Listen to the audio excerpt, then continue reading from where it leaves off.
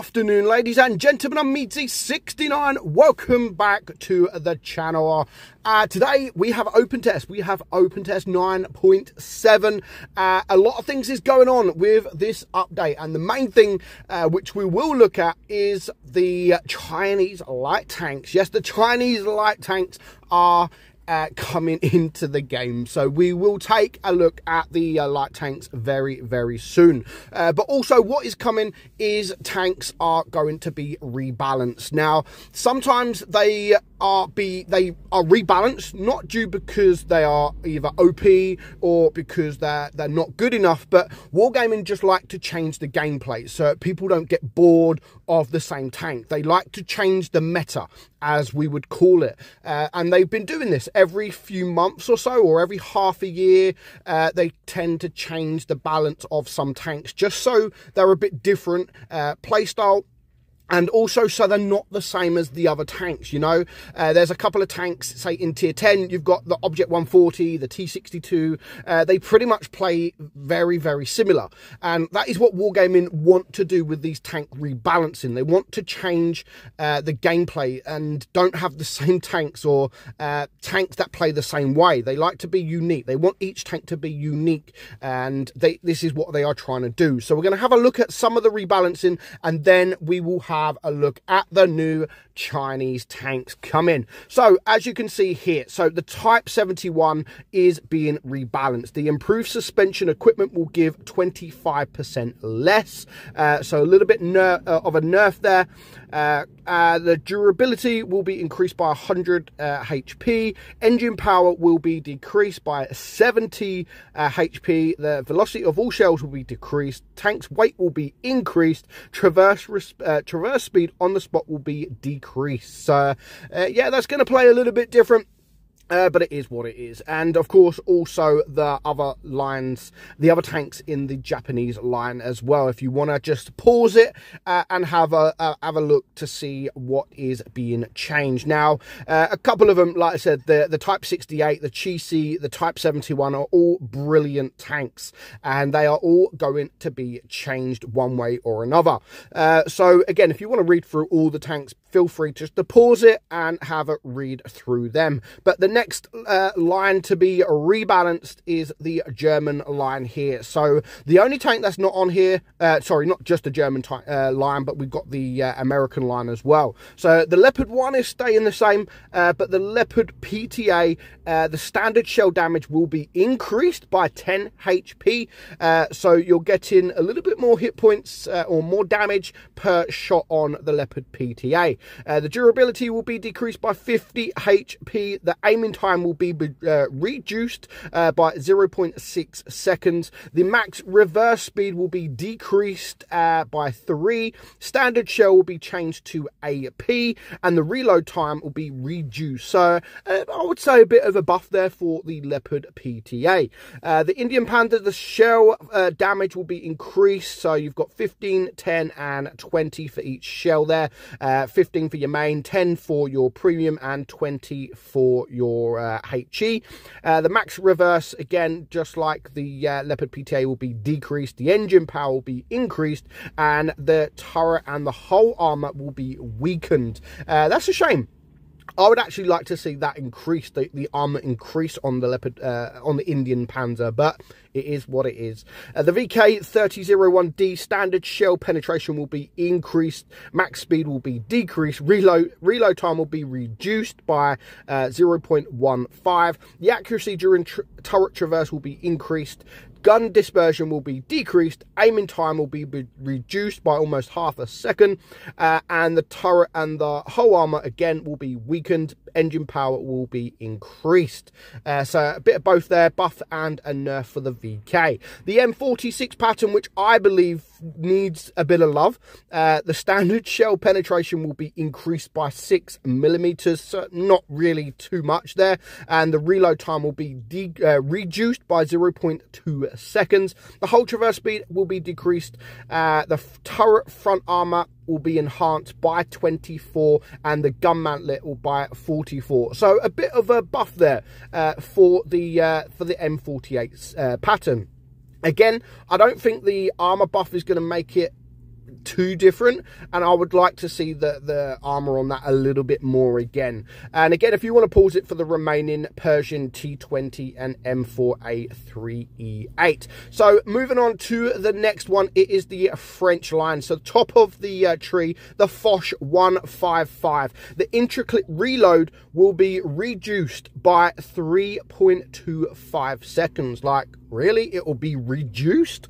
Uh, so the intraclip reload is going to be very, very, uh, very, very good. Um, but the shell... Uh, the shell damage for the auto loader gun will be decreased. So you are doing a little bit less damage, but your reload time between each shell uh, is literally three, almost three and a half seconds less than it was. So I think that is, that's nice. I think that will be nice. Uh, the the shell damage for the uh, the silic uh, the silic gun or the silic gun will be increased. Uh, if you use the normal gun, uh, the damage will be increased by 40, 15, and 40. And the uh, the standard uh, the standard shell. If, if, you can hear that, people are bibbing outside. I don't even know what they're bibbing at. Um, anyway, so the standard shell penetration for the regular gun will be increased. The magazine reload time will be increased by 4.8. So your intraclip reload is is decreasing, but your magazine reload will be increased by a little bit more. So it's a bit of a buff and a nerf. You're going to get the damage out quicker, but then you're going to have to wait longer for that reload. So I don't mind that. I don't mind that. Um, the reload time there of the normal gun will be reduced by a second and the regular gun dispersion will be increased as well a little bit so a uh, bit of both there. A bit of the buff and a nerf for the Foch 155 uh, the top gun on the Foch top gun will become a two shell auto loader just like the Foch 155 which will be very very nice. Uh, the intraclip reload will be set to three seconds. The magazine will be set to 18.22 seconds. The accuracy during traverse will be increased. The velocity of all shells will be decreased. So it's finally nice to see the Foch, uh, the Tier 9 Foch getting that auto loader gun. I do like the gun and how it is, to be honest. I hope it don't change the, the tank too much uh, because it is a nice tank and a very, very good DPM. And again, the AMX, their AEC 48, 46, the ARLV 39 and the S 35. So if you want to read those again, feel free to pause. But now let's have a look at what everybody is really wanting, and that is the Chinese light tanks.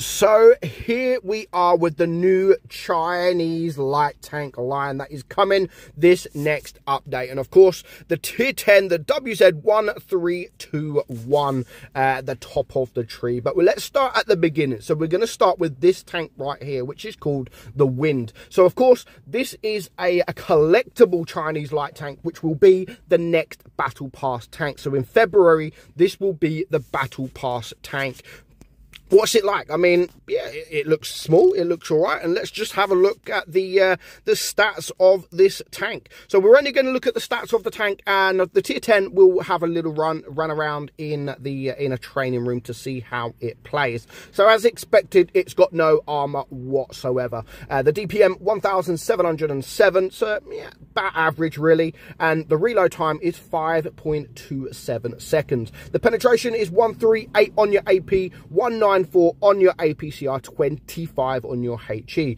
You've got 150 alpha round, uh, 135 on your APCR and 200 on your uh, HE. Aiming time is very good at 2.8 and the dispersion is 0.364 and it only has 5 degrees of gun depression with a top speed of 63 kilometers per hour. So again, just one of those, you know, like a Type 64, uh, DPM is okay-ish. It's got no armor whatsoever. The gun depression isn't great and the speed is very, very nice. Um, and I'm guessing most of this line, the aim time uh, is going to be good. Normally, the Chinese line, uh, the aim times are, are pretty good on the line. So, uh, at number six, at tier, number six, at tier six, the first tank on this list uh, is the 5916. Now, we're not running it with any equipment, any of the any of this line with any equipment or provisions. Uh, we're just going to run them how they are bulk standard. So, first of all, these are the new camouflages for this line. Um, yeah, they're a bit in your face, but if you like them, then uh, yeah, that's uh, if you want to use them. But of course, you need rank 40 to up uh, to un get this to get this tank rank 30 to get this and then rank 20 to get this. So it looks like a new thing coming uh, where once you get to a certain rank you will unlock these camouflages. Uh, not a bad idea to be honest. Uh, i think that's uh, pretty decent to do that.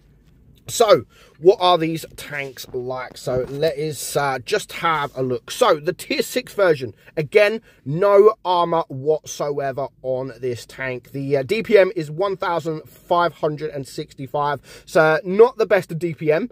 It's a tier 6 tank. It's 200 less than the, the Battle Pass tank, which we've just shown. So yeah, the DPM isn't nothing special about this tank. The reload time is 6.5 seconds, and the uh, penetration 132 on your AP, one, uh, 212 on your APCR, 40 on your HE. You've got 170 alpha gun, uh, 135 on your APCR, 200 on your HE. Aim time is three seconds. And again, don't forget, we're running this completely empty. Once you start using the provisions, consumables, equipment, you will get this uh, aim time down. And I think the aim time will be very, very nice. Uh, the dispersion on this is not so good at 0.384. So I would, if you're running it with the equipment, I would probably run it with uh, this refined gun just to make that dispersion better or you can make the aim time much better than it is. But i the dispersion isn't great so i would probably run it with the refined gun.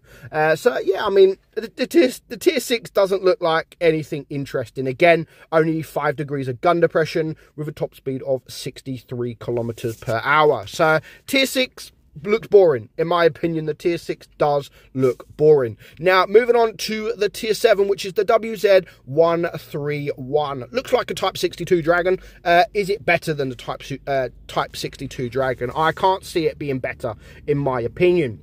So again, no armor whatsoever. Uh, the DPM 2053, uh, which okay, isn't so bad. The reload time is six seconds. Penetration 155 on your AP, 194 on your heat, and 44 on your HE. You've got a 210 alpha gun on this tank, uh, 190 on your heat, and you have two two um so, uh, my apologies. I actually forgot where I was. Uh, someone come knocking on my car uh, talking. So, anyway, with the Alpha, let's go back to the Alpha on this uh, Tier 7 tank. So, 210 Alpha on your AP, 190 on your uh, Heat, 260 on your HE. Your aim time is 3.3 seconds and the dispersion is 0.364. So, again, the, the aim time is in, isn't as good as I thought it would be. But again, once you start running the equipment on this, then you will drop it down down to around about three seconds. Uh, so that isn't so bad. And just like all the other tanks, just five degrees of gun depression. So I feel like this line will struggle with the gun depression uh, because I like gun depression. Gun depression equals fun depression. Uh, you do have a lot more fun when you have some gun depression. Uh, and again, the top speed is a very nice 64 kilometers per hour. So moving on to the tier 8, the WZ132.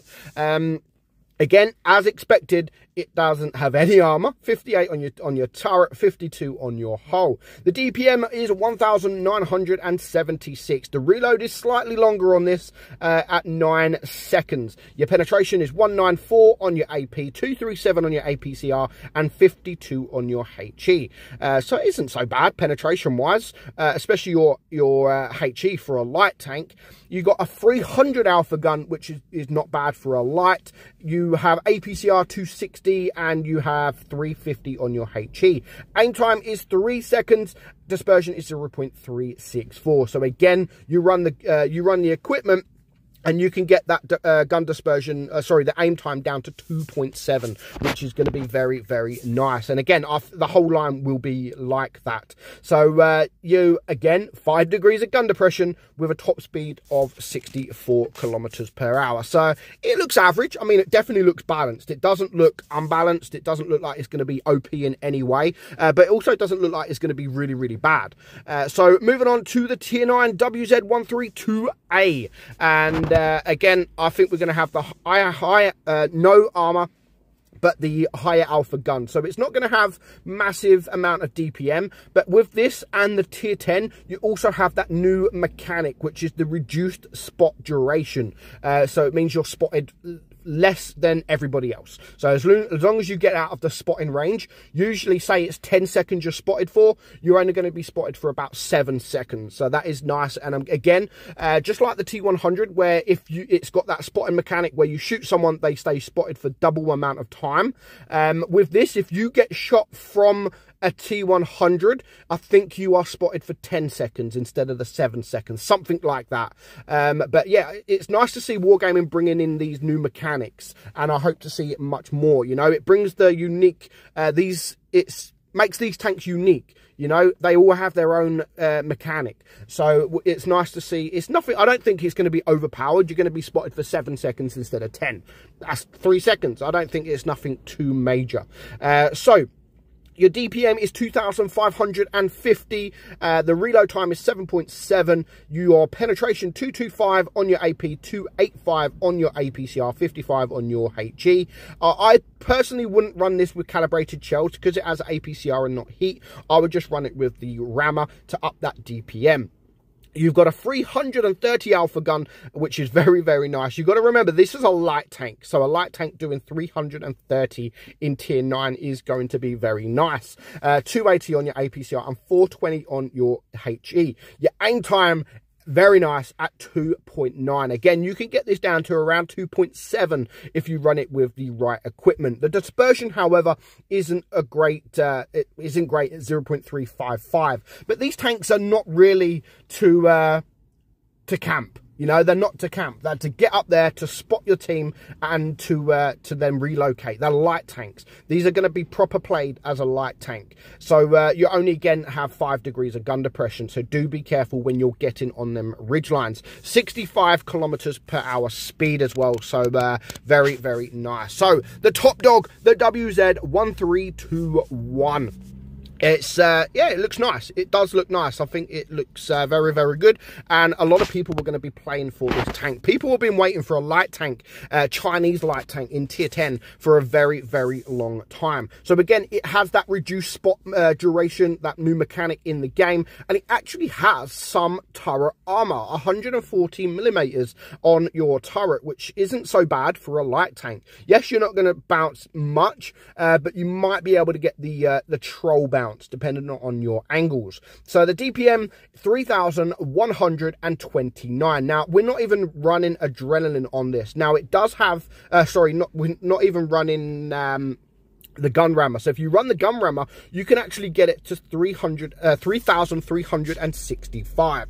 Very, very nice. And if you want to run it with uh, calibrated shells, you can get the heat pen up to 325. So personally, I would stick with the uh, the DPM and run the calibrated shells because that 325 again in tier 10 you will need you will need that pen. So especially in a light tank. So uh, yeah I don't I don't think that's too bad. 3100 DPM or 3300 DPM if you want to run it with the uh, rammer 6.33 seconds or 5 point something seconds if you run it with the rammer. Uh, 2, 3, uh, 230 pen, as we've just said, and 295 on your heat standard. Uh, so again, I don't think that is too bad at all. Uh, the 330 alpha gun, 280 on your heat and 420 on your HE. Uh, again, 2.8 on your aim time. Now, you can get this down to 2.6, which is incredible. Uh, and also the dispersion isn't actually that bad on this tank. Uh, compared to the, the whole of the other line, it isn't bad at 0.326. So I would keep the 2.8 and I would run it with the refined gun just to make that dispersion good as well, because that then becomes good dispersion and the you also then have good aim time. So that is how I would run it. So let me just run the equipment with this tank at what I would run. So the gun rammer and the calibrated shells, it is totally up to you whether you want the penetration or the DPM. But personally, I would run it with calibrated shells, improved modules, um, improved optics because you are light tank, you want to you want to spot them as early as possible. Uh, I would also run it with a uh, enhanced gun laying drive, which again uh, makes the aim time better as well. Um, enhanced armor you won't need, so you might as well give it some more hit points.